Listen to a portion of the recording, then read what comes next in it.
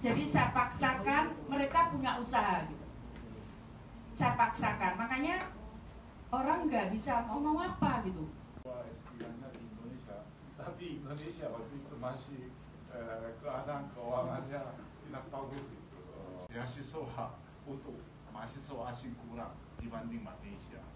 Jadi saya S2, S3-nya di Malaysia.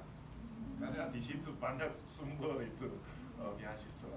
Jadi saudara apa mahasiswa mahasiswi Indonesia mungkin sekarang mengalami hal yang sama seperti saya yang mengalami eh, dan, eh, beberapa dekade lalu.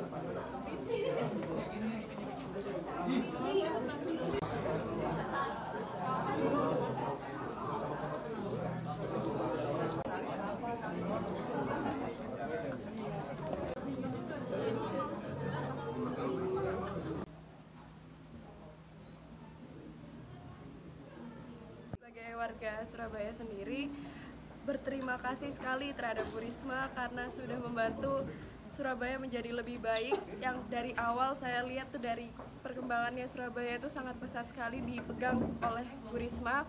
Kesenjangan sosial semakin berkurang karena Bu Risma. Lokalisasi pun juga sudah dihilangkan dari Surabaya dan Surabaya sekarang semakin maju. Terima kasih Bu Risma.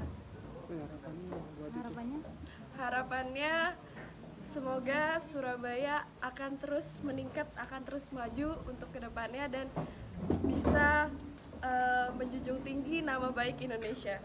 Mbak, tadi setelah ikut kelas dari Bu Risma gimana rasanya terinspirasi atau apa yang didapat dari Bu Risma? Eh, yang didapat dari Bu Risma saya terinspirasi sekali eh, karena eh, Bu Risma berkata kalau misalkan setiap manusia mempunyai eh, pribadi yang berbeda-beda jadi kita tidak bisa memaksakan kehendak dan seperti Bu Risma saya akan menjadi seorang pemimpin pemimpin untuk diri saya sendiri yang lebih baik.